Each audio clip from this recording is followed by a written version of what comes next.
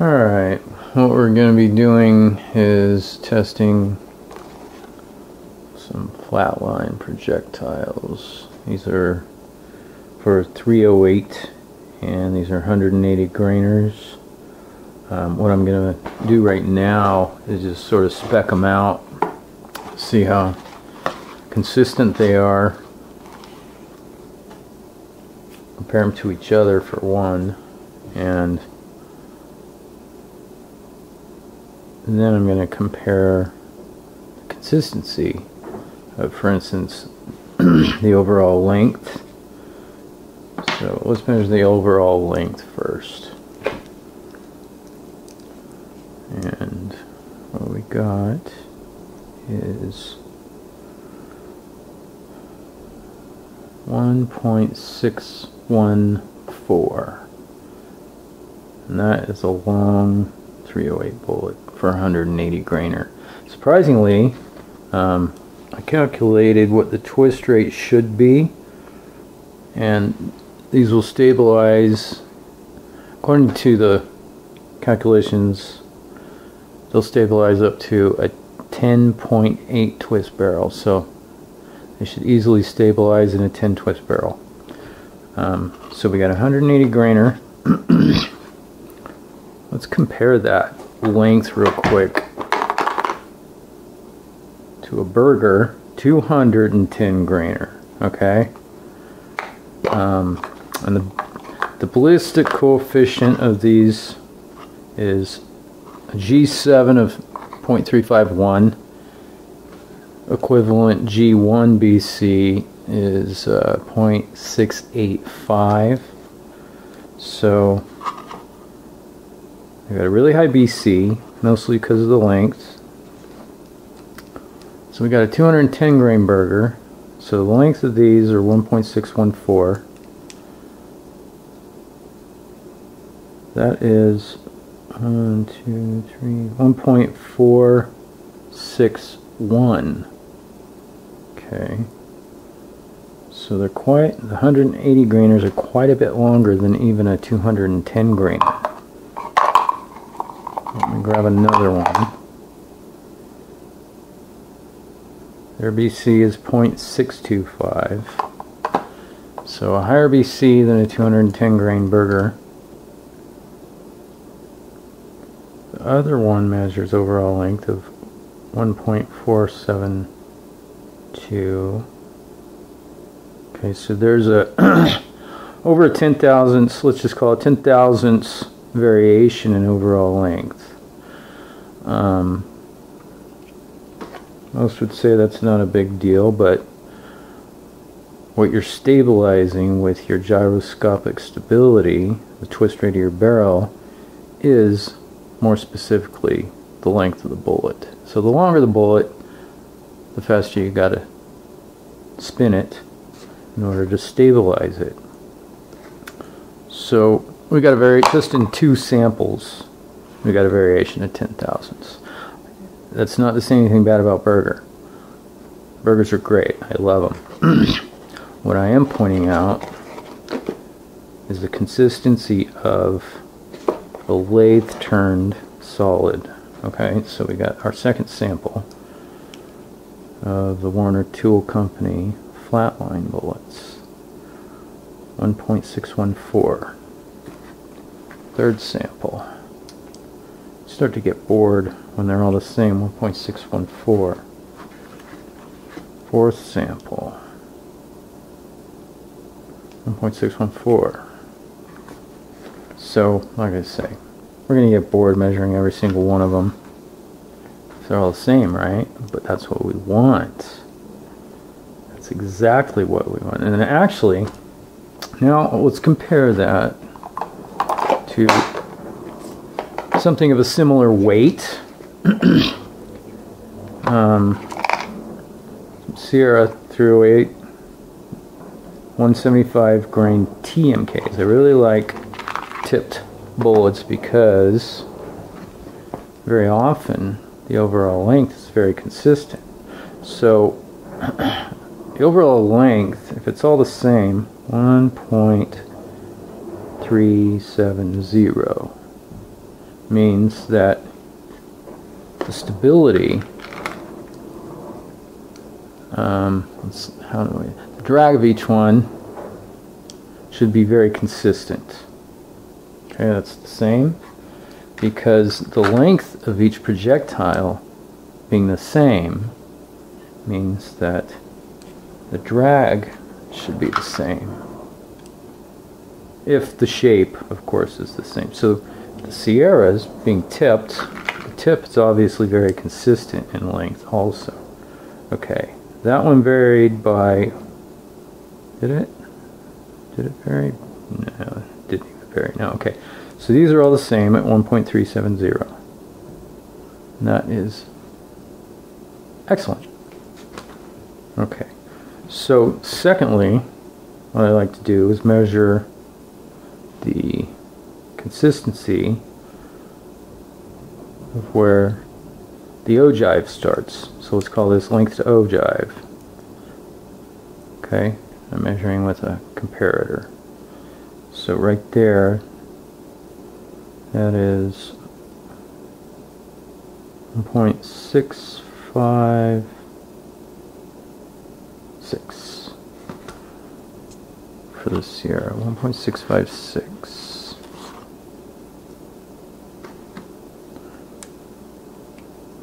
One point six five five. That's very close.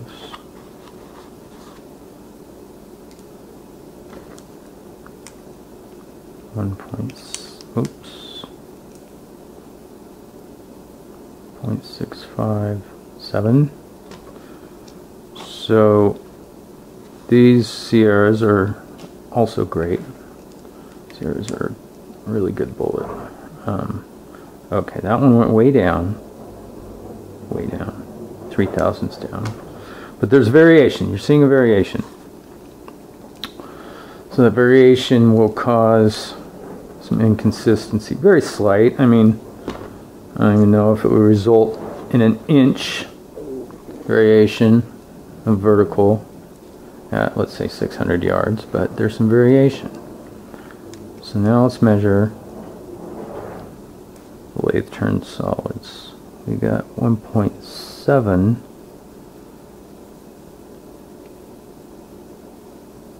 uh, let's call that 1.739 okay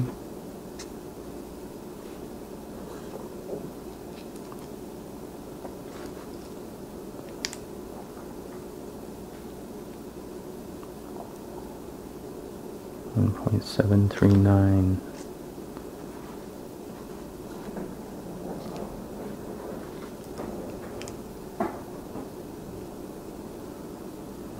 1.739 it's actually 1.78 and a half. I really like the accuracy of these Brown and Sharpes. There's a little spot in between every thousandth that you can resolve even a half a thousandth. Okay, we got one very one thousandth variation on that one, 1.738.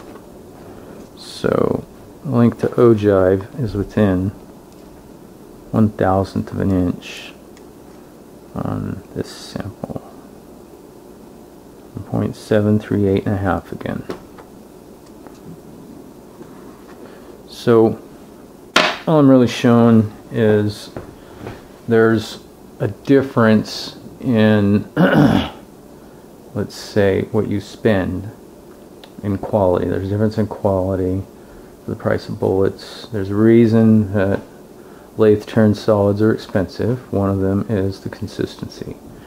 Um, and that's really what we want for accuracy, precision, long range shooting. We want to reduce vertical dispersion as much as possible. So I'm going to load some of these up and we'll do some testing. Hello ladies and gentlemen. So what we got today is a custom 308 Winchester. Uh, I believe it's a Daniel Defense chassis. Got a Kahles 6 to 24 scope. Very nice scope with left side windage. Um, and I got a target set up 100 yards out. Right there. Can't see it yet very focused but I will focus it in a minute. Anyways. So what I'm doing is conducting a ladder test with some 180 grain Warner Tool Company solids so I already worked up from 44 grains um, and ran out of daylight yesterday. So anyway I worked up to 46 so we're going to start at 46 grains again and this is with CFE 223 powder. Supposedly uh, you get really good velocities in a 308 with CFE so the ladder test is just going to be two shots each 46 46 and a half etc up to 47 and a half grains. And since this scope has just been put on I'm also going to be zeroing it as I'm shooting. So I might not even hit the box on the first shot but uh, we will see. So stand by. Alright just got the camera set up and going to get in position load up start with 46 grains of CFE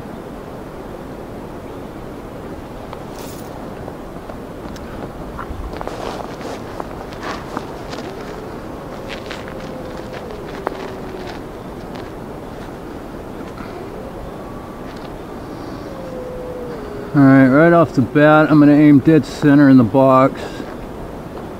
And see where my hit goes first.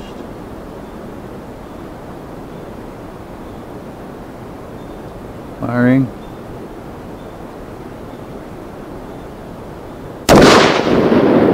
Seen it?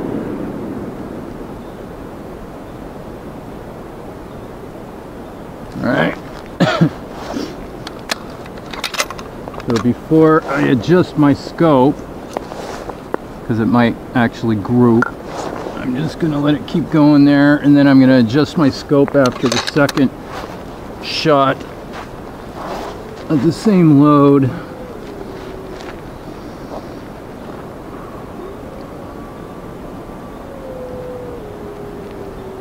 Shut up. Approximately four, 0.6 mils left. So I'm going to aim 0.6 mils right.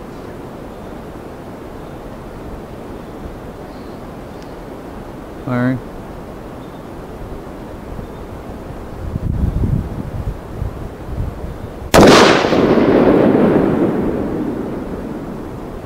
Seen it?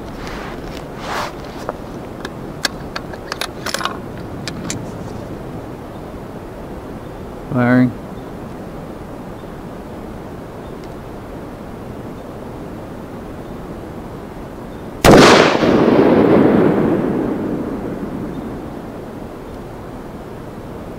Alright, let's see.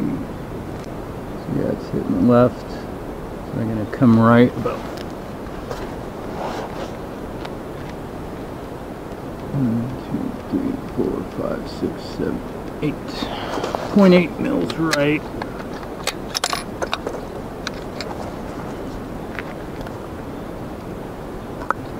This will be 47 grains.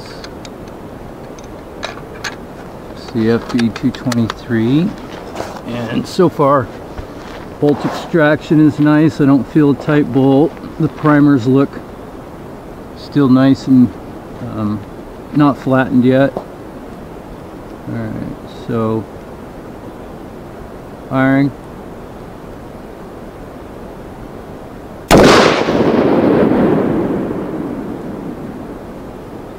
all right it's uh, 875 yards and testing again to repeat the uh, 180 grain Warner Tool Company solid with 47 grains of CFE 223 um, theoretically according to the ballistics should be 6.1 mils of elevation. So that's what I'm going to dial in first and see if we can spot it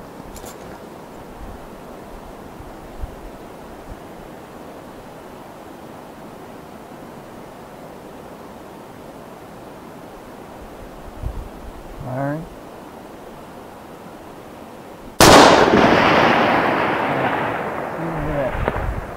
Job. Two tenths high, point six right.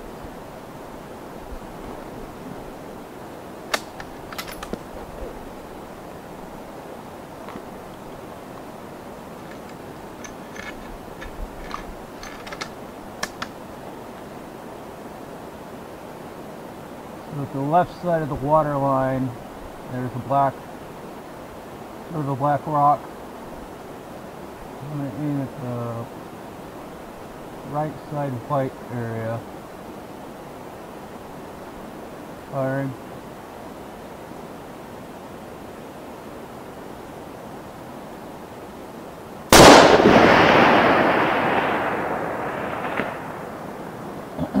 Didn't see it.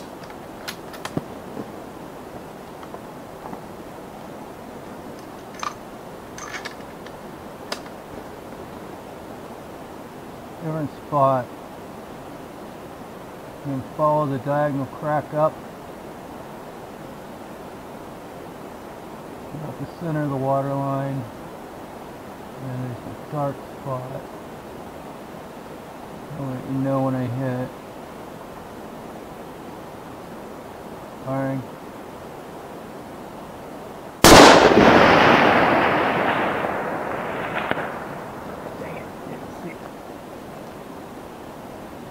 Okay, let's see a different spot then.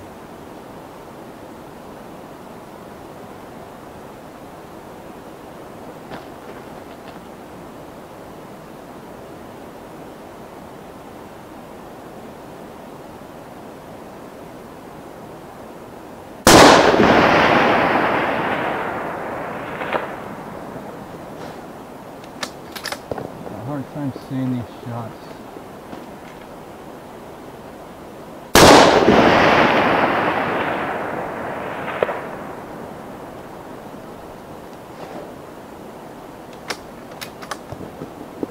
Cancel that. And I'm going to reposition the camera at 730 yards. I only seen one hit. And again we got a bunch of clouds obscuring our sunlight so. Stand by for a second. Let me get positioned in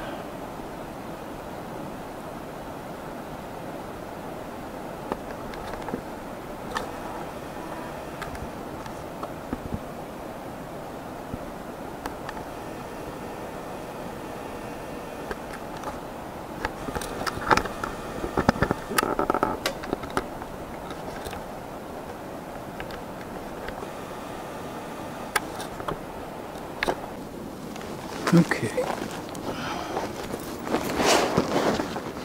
It's wasting ammo, so anyway, this is 46.8 grains. I'm dialed up four and a half mils. And I know it's fuzzy, but there's a a black spot above a bush and to the right of a bush. And you'll see it once I shoot at it. It is one mil right of the bush, two mils high of the lower bush. Firing.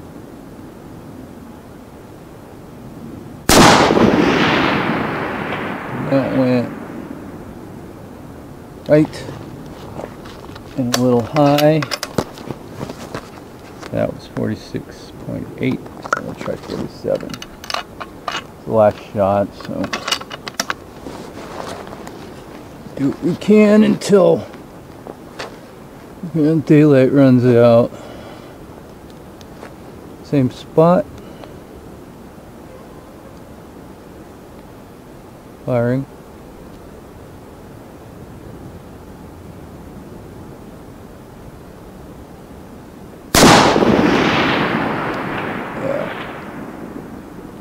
Elevation went right. Elevation was good. You know, I'm liking 47 a lot. So, I'll call that good.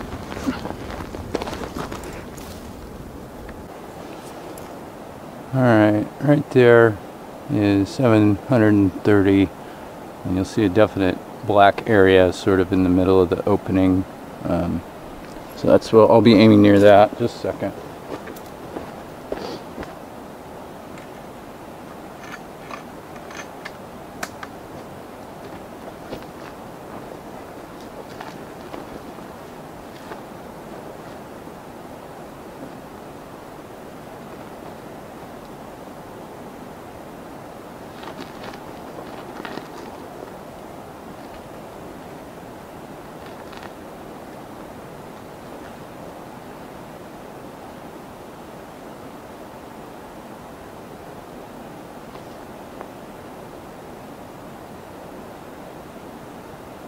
Firing.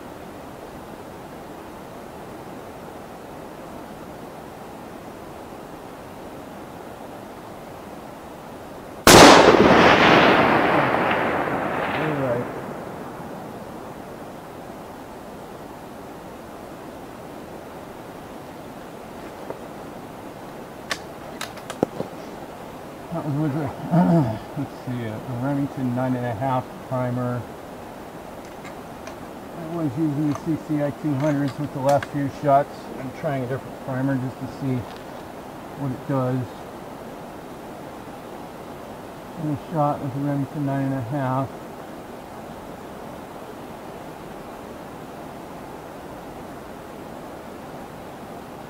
Fire.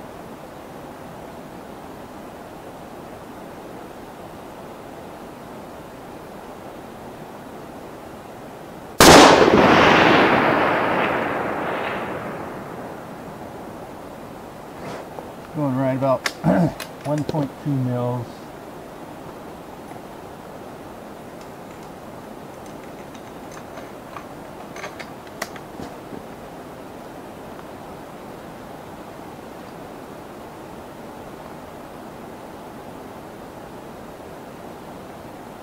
dial left.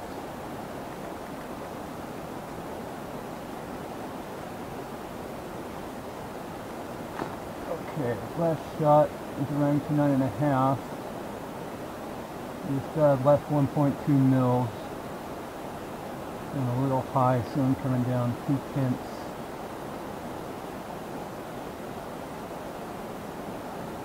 Firing.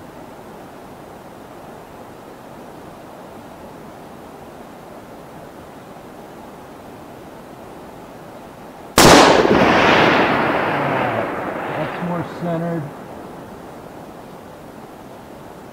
Same load, 47 grains, but with a Federal 210 primer.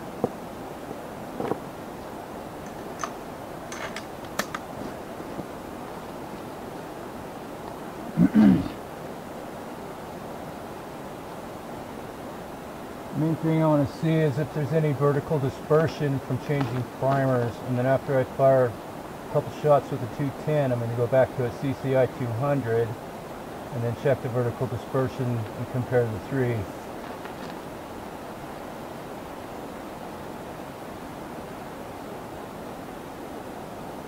Firing.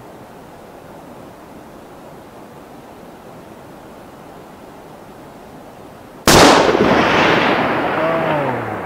yes, that was dead on. Within a tenth. So it looks like, check your camera. Okay, good.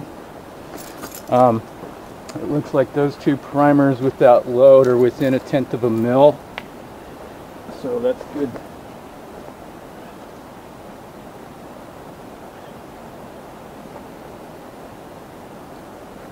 One more shot with the Federal 210. Alright.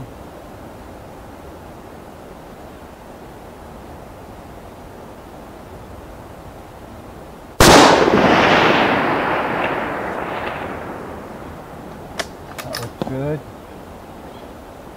Alright, back to CCI 200.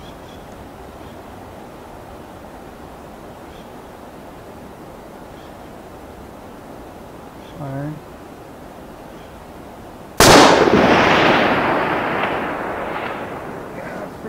Same spot, Sam. Alright. Let's see. Hmm. One point.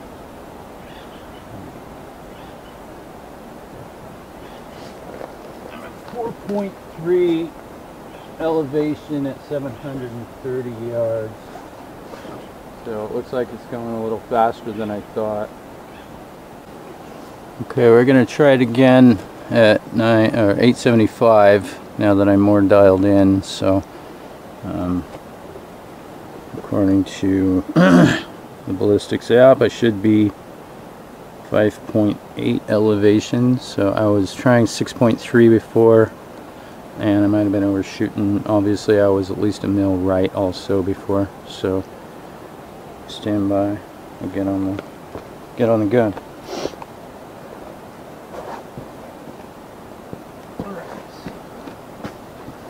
This is with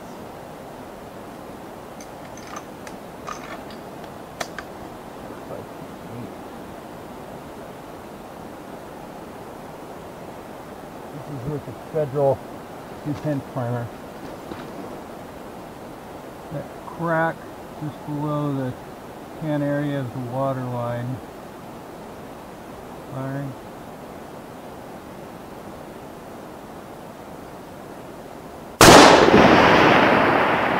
Um, that was dead on. Exactly.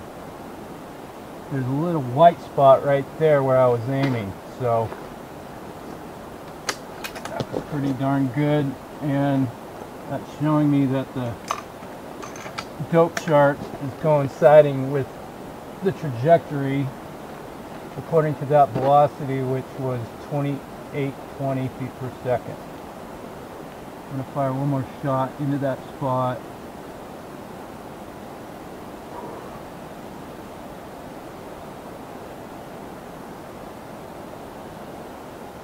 Firing.